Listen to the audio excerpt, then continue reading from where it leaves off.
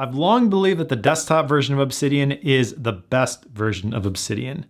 And one of the reasons for this is that you have a physical keyboard you can use when working with your notes in your Obsidian Vault. Not only does a keyboard make text input easier, but it also boosts your productivity by giving you the ability to control Obsidian by triggering commands straight from your keyboard. In this video, I'm going to help you get faster in Obsidian through using hotkeys to trigger commands without having to reach for your mouse. I'll show you some of my favorite built-in keyboard shortcuts to help you do common things in Obsidian even faster. I'll walk you through how to set up custom hotkeys of your own. I'll share a bunch of my favorite custom hotkeys for commands that I use all the time, and I'll teach you how to make those custom keyboard shortcuts easier to trigger and remember by creating a hyperkey. Now I'm using a Mac, so I'll be describing the shortcuts using a Mac OS keyboard layout. If you're using a PC instead, most of the time you can just replace Command with Control and Option with Alt. And if you need to look at a keyboard shortcut, you can do so by going to Settings, Hotkeys, and searching for the command that you want in the list. Pro tip here, you can also click the keyboard icon and type the hotkey combination if you want to search the commands that way instead.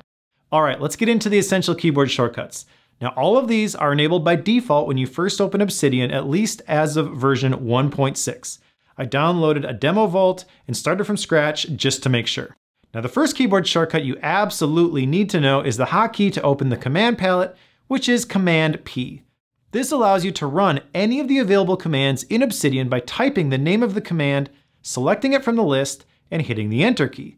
This is easily my most used keyboard shortcut. I use it dozens of times a day while in Obsidian. The command palette is one of the most underrated features of Obsidian in my opinion, and I even did a whole video about some of the non-obvious ways that you can use it, like discovering new commands when you install plugins and remembering keyboard hotkeys. The second keyboard shortcut you need to know is the hotkey to open the quick switcher, which is Command O. This opens the quick switcher, which is not only the quickest way to find and open a note, but also the quickest way to create a new note. Just open the quick switcher with the hotkey, type the name of a note to find and open it, or type the title of a new note and then hit the enter key to create it. There are even additional keyboard shortcuts visible on the bottom that allow you to open it in a new tab or open it to the right of the tab that you're currently working in. The next essential keyboard shortcut is Command E, which toggles between reading and editing mode.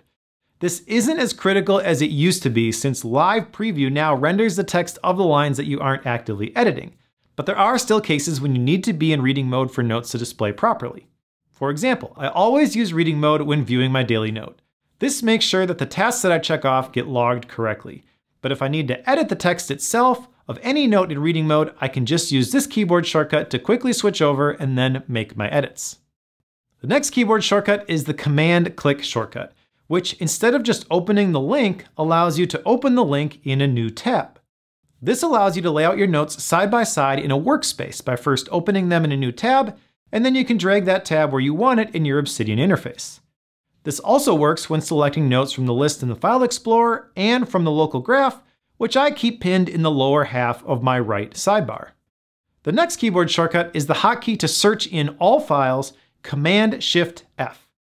Note that this is different than Command-F, which is the hotkey to search the contents of the note in the current tab. With the Search in All Files command, you can instantly open the Search tab in the left sidebar and start typing to search the contents of your entire Obsidian vault. You can use modifiers here like file colon, path colon, or tag colon to refine your search, and there are toggles for collapsing the results, showing more context, and explaining the search terms to help you craft better searches in the future. But if you're trying to find something somewhere in your Obsidian Vault, this hotkey makes it much easier to do so. The next keyboard shortcut is for navigating forward or back in the current tab by using Command Option and the left arrow or right arrow keys. This is the equivalent of clicking the forward and back arrows in the note title bar. So if you've navigated a chain of several notes, you can use this hotkey to go forward or back in the current tab until you find the one that you're looking for. The next keyboard shortcut is Command K, which is the hotkey for inserting a markdown link into the text of your active note. This adds the markdown formatting for the link and places the cursor in between the square brackets so you can type the text that you want to turn into a link, then move the cursor and insert the URL. I usually add links when editing, so alternatively, you can highlight the text that you want to turn into a link and hit Command K, which places the highlighted text in between the square brackets, so you can just paste the URL that you want to link to. The next keyboard shortcut is another two-part shortcut for navigating between open tabs. Just like most modern web browsers, you can use Control Tab to switch to the next open tab in the tab bar, and Shift Control Tab to go back to the previous one.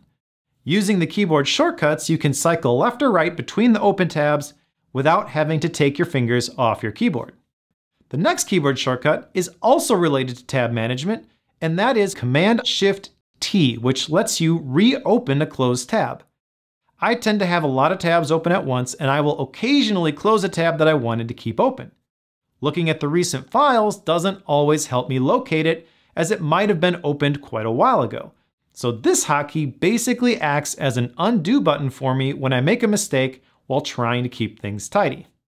The next keyboard shortcut is Command semicolon, which jumps you back to the top of the note and creates a new blank note property. Now I don't use properties a ton and most of my notes that have them are created from template files. But every once in a while, it's handy to apply a property like note level tags, for example, this way.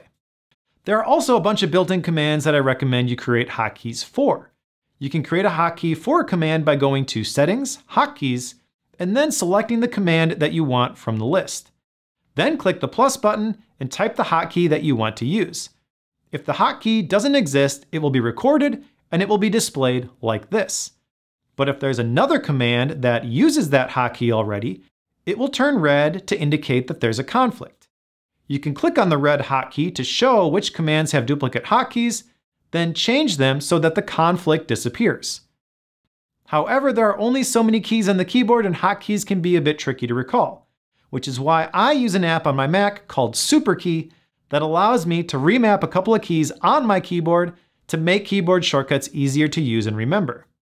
SuperKey does a bunch of things, but two specific things are worth mentioning here as it pertains to crafting custom keyboard shortcuts. First, it allows you to remap the caps lock key to a hyperkey so that when you hit caps lock, it simulates a key press of Shift, Control, Option, and Command all at the same time. By doing this, I can create a shortcut like Caps Lock M, which is the keyboard equivalent of hitting Shift, Control, Option, Command M. Now hitting all those keys can be difficult, which means that I can pretty much guarantee that any keyboard shortcut I make with the Caps Lock key will not conflict with anything else on my system. The second thing SuperKey gives us is a Meh key, which simulates a key press of Control Option Shift. This is another rarely used series of modifier keys, and you can map this to specific keys on your keyboard. I have my Meh key mapped to my right shift key, so I can use that to unlock another layer of custom keyboard shortcuts that won't conflict with anything else in my system. Now, all my custom keyboard shortcuts in Obsidian use either the hyperkey or the Meh key as the basis for the hotkey when possible. But if you don't think you need the Meh key, then you can get just the hyperkey functionality of SuperKey by downloading a different, simpler app called Hyperkey. Hyperkey is free, so maybe download that one first to see if it works for you, but I prefer SuperKey because it does a lot more, including remapping the paste without formatting command to the standard paste shortcut of Command V when you use a particular modifier. And if you want to try out SuperKey, it has a 20-day free trial, then it's a one-time cost of $15.99 US dollars. All right, so here are the commands that I believe warrant a custom keyboard shortcut and the hotkeys that I use to trigger them. The first command is the copy obsidian URL command, which I have mapped to Shift Control Option Command C or Caps Lock C. This is similar to the copy command, which is Command C, but instead of copying the contents of the note, I'm copying the direct URL to the note itself. And this is useful if you want to link to a specific note in your Obsidian Vault from another app. For example, you may have a task to write an article and include the link to the note in the task description in your task manager. That way, your task manager can give you the notification when it's time to write the article, and you can click the Obsidian URL in the notes to go straight to the note and do the actual work. The next couple of commands are related to daily notes, which I use heavily for my journaling workflows. I tie lots of data to my daily notes, and it can be helpful to navigate between them by using keyboard shortcuts. So Obsidian gives you three commands for navigating your daily notes. Open today's daily note, open previous daily note, and open next daily note. The previous daily note and the next daily note commands go forward or backward a day based on the daily note that you are currently viewing. So I have those set to caps lock left arrow and caps lock right arrow respectively. The command to open today's daily note, which is the one that I use the most, is caps lock up arrow, which remember is actually shift control option command up arrow since I've remapped that caps lock key using SuperKey. The next command I use frequently is the export to PDF command.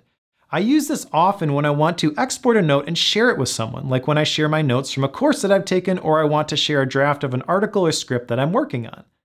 You can export a note as a PDF by clicking on the ellipsis in the upper right of the note title bar, but I've set this to the hotkey Control Option Shift P.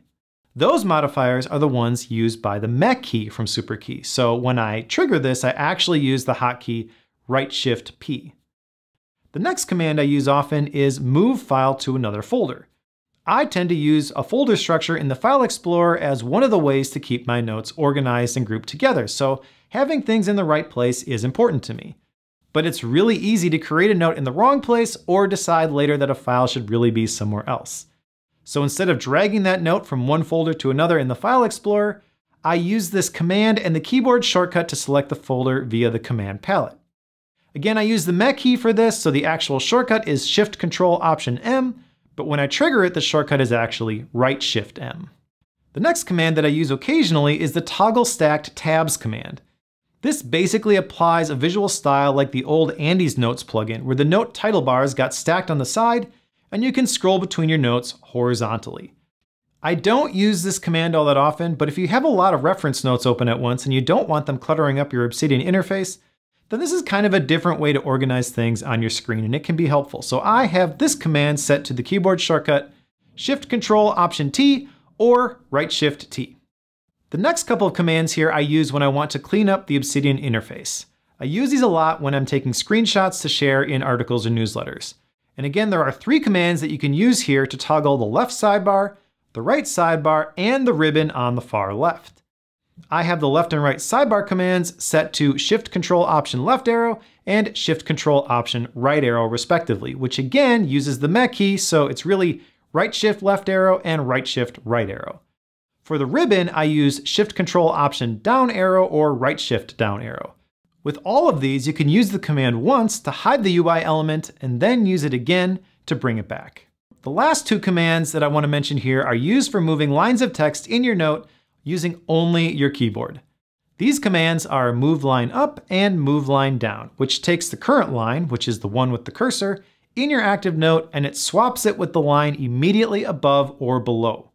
These are the only commands on this list that don't use the hyperkey or the Meh key for me, and I have these set to Control Option Command up arrow or Control Option Command down arrow respectively. These are three modifiers in the lower left of my keyboard, so it's still pretty easy to hit all of these modifier keys at once, though I do try to keep all my Obsidian shortcuts to either the hyperkey or Meh key whenever possible. So there you have it, my list of essential built-in keyboard hotkeys and the top commands that I use keyboard shortcuts for. But as we wrap up here, a couple of quick tips.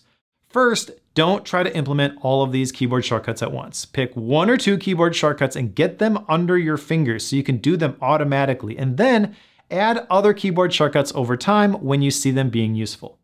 Second, take a look at the list of commands by going to Settings Hotkeys and looking for commands that don't currently have hotkeys that could make using Obsidian a little bit easier for you. And lastly, leverage the command palette to help you remember those hotkeys. Just open up the command palette and start typing the name of the command that you want to trigger, and you'll see the hotkey appear in line for the command.